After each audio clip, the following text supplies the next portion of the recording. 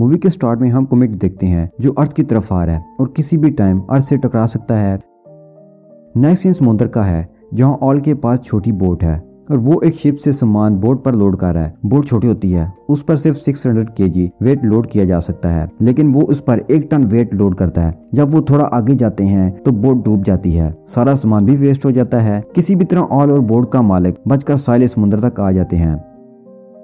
अब बोर्ड के ऑनर को देने के लिए ऑनर के पास मनी नहीं होती तो वो उसके साथ अपनी कार एक्सचेंज कर लेता है। ऑनर की कार बहुत बदी होती है। जो सामान वेस्ट हो जाता है, उसके बदले में उसने लोगों को वन मिलियन डॉलर देने हैं। वो इन लोगों से कहता है कि कुछ दिन वेट करो, मैं आपको वन मिलियन दे दूँगा। अब ऑल परेशान है, उस पर वन मिलियन डॉलर का डेप्ट है। वो लोन लेने बैंक में जाता है। बैंक में उसकी बचपन की फ्रेंड सुटलाना जॉब करती है। ऑल उसे बताता है कि वन मिलियन लोन चाहिए। तो वो उसे क्लियर करती है कि तुम्हारे पास कोई ट्रस्टेबल प्रॉपर्टी नहीं है। बैंक तुम्हें कभी भी इतनी बड़ी अमाउंट नहीं देगा। और कहता है कि उसे ये अमाउंट हर हाल में चाहिए। उसने कर्ज अदा करना है। वो उसे कहती है कि घर चलो। डैड से बात करना। शायद वो तुम्हारी हेल्प कर सके।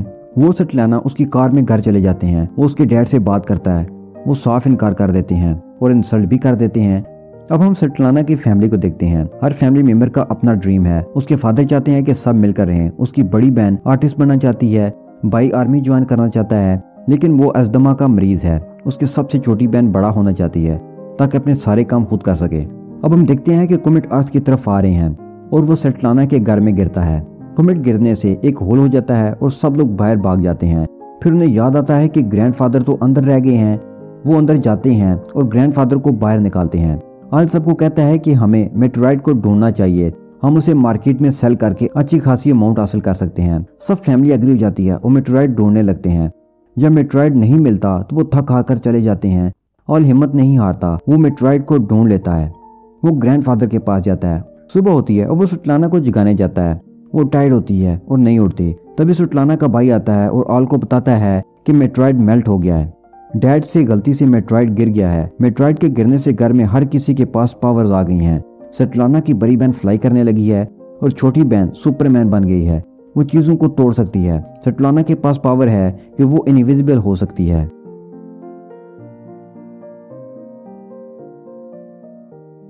अवल डॉक्टर को लेकर आता है ताकि सटलाना की दोनों सिस्टर्स का चेकअप कर सकें। उन पावर्स की वजह से वो फ़िज़िकल फिट हैं या नहीं? डॉक्टर कहता है कि ये दोनों बिल्कुल ठीक हैं। अब डिनर टेबल पर आव सजेशन देता है कि हमें इन पावर्स को यूज़ करके पैसे कमाने चाहिए। एज ऑलवेज उसके फादर ऑल को इग्नोर करते हैं। सटलाना का भाई अपनी पावर के बारे में बताता है कि मैं एनिमल्स को सुन सकता हूँ, उनकी बात समझ सकता हूँ ऑल के पास कोई पावर नहीं होती, और वो बैड फील करता है, क्योंकि उसने मेट्रॉइड ढूंढा था। नेक्स्ट सीन में हम देखते हैं कि सटलाना के डैड टॉयलेट में हैं, वो डीप ब्रीथ लेते हैं, और उसके बाद वो घर से बाहर नज़र आते हैं। डैड के पास ये एबिलिटी है कि वो किसी भी वक्त कहीं भी जा सकते हैं। सुटलाना के डैड सबको लेकर लेक पर जाते हैं। वहाँ वो सब अपनी पावर्स को यूज़ करके एंजॉय करते हैं। अब सबको मनाने की कोशिश करता है कि उन्हें बैंक लूटना चाहिए।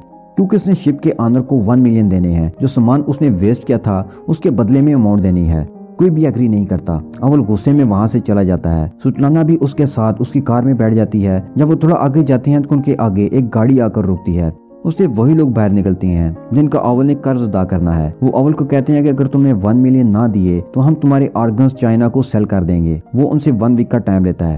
ये सब देखकर सुटलाना बैंक लूटने के लिए अग्री हो जाती है। वो अपने डैड को एक बड़े बंगले में लेकर जाती है, ताकि उनके दिल में लालच आए और वो बैंक लूटने के लिए एग्री हो जाए। तो एट लास्ट इमोशनल ब्लैकमेल करके वो अपने डैड को एग्री कर ही लेती है।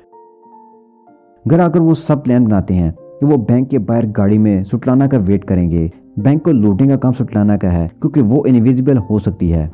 सुल्ताना की फैमिली कहती है कि हमें अपनी पावर्स को पब्लिक को दिखाना चाहिए, ताकि पैसे कमा सकें। पहले तो अवल नहीं मानता, लेकिन बाद में मान जाता है। वो सब थिएटर में जाते हैं और डायरेक्टर को अपनी पावर शो करते हैं। फाइनली अवल को अपनी पावर का पता चल जाता है। वो अपने फिंगर से पानी निकाल सकता है।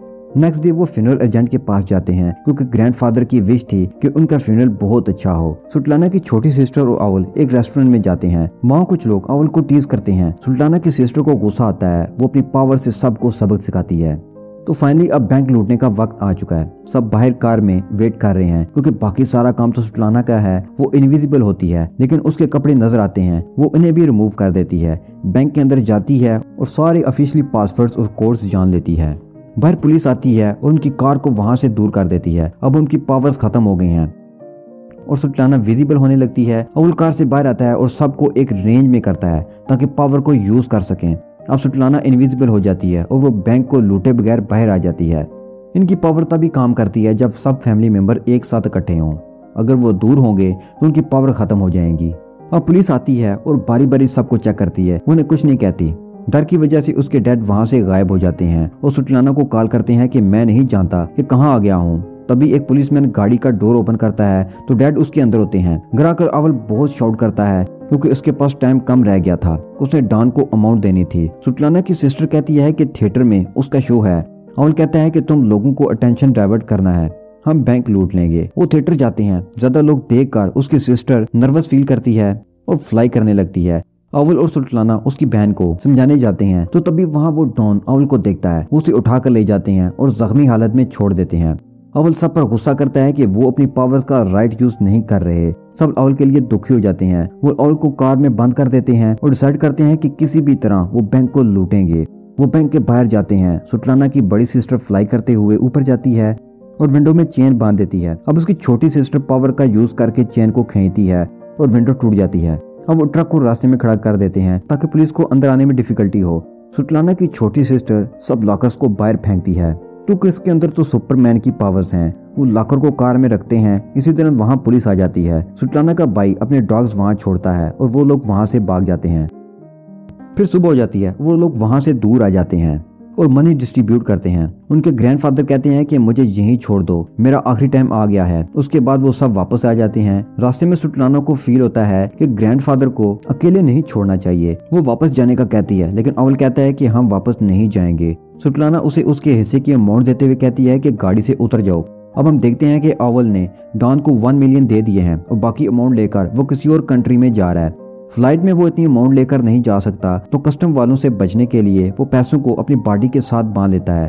वो बैठकर अपनी फ़्लाइट का इंतज़ार कर रहा होता है और टीवी पर न्यूज़ चलती है कि सुटलाना की फैमिली को पुलिस ने अरेस्ट कर लिया है। ग्रैंडफादर की डेड बॉडी लेने के लिए एजेंट के पास जाते हैं। वो नहीं मानता। तो उसे वन मिलियन का लालच देता है। एजेंट वन मिलियन लेता है और डेड बॉडी वापस कर देता है। उसे इन लोगों पर शक होता है। वो पुलिस को इन्फॉर्म करता है। पुलिस इन्वेस्टिगेशन करती है और इन सबको अरेस्ट कर लेती है। कोर्ट में हियरिंग होती है और अवल ग्रैंडफादर को ज़िंदा लेकर वहाँ आ जाता है। सब शॉक्ड हो जाते हैं। एजेंट ने उन्हें ज़िंदा ही दफना दिया था। ग्रैंडफादर एजेंट को मारने लगते हैं। सब एक रेंज में आते हैं और अपनी पावर का यूज़ करते हैं। सुल्ताना की बड़ी सिस्टर जज के ऊपर चढ़ दौड़ती है। कोर्ट का सीन फनी हो जाता है। वो लोग वहाँ से भागने की ट्राई करते हैं और बाहर पुलिस होती है। सुल्ताना की बड़ी सिस्टर बाहर आकर हवा में फ्लाई करने लगती है। पुलिस की अटेंशन डाइवर्ट हो जाती है और वो लोग वहाँ से भाग जाते हैं। फिर लास्ट में हम देखते हैं कि वो सब लोग एक पोर्ट में हैं। वहाँ वही डॉन आ जाता है और ऑल की हेल्प करता है। वो इन सबको कंटेनर में बंद करके चाइना भेज देता है और यहीं पर यह मूवी खत्म हो जाती है।